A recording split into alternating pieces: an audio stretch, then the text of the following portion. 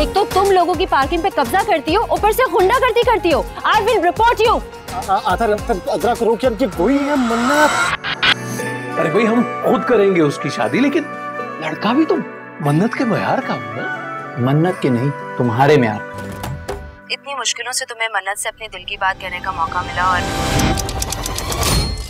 मेरी वजह से सारा मामला खराब हो गया। कोई अच्छी खानदानी शरीफ लड़की होती तो मैंने मान जाना था।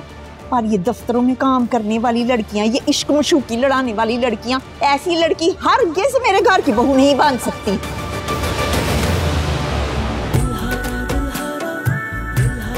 देखिए, मन्नत मुराद, आज रात आठ बजे। सिर्फ़ जियो पर।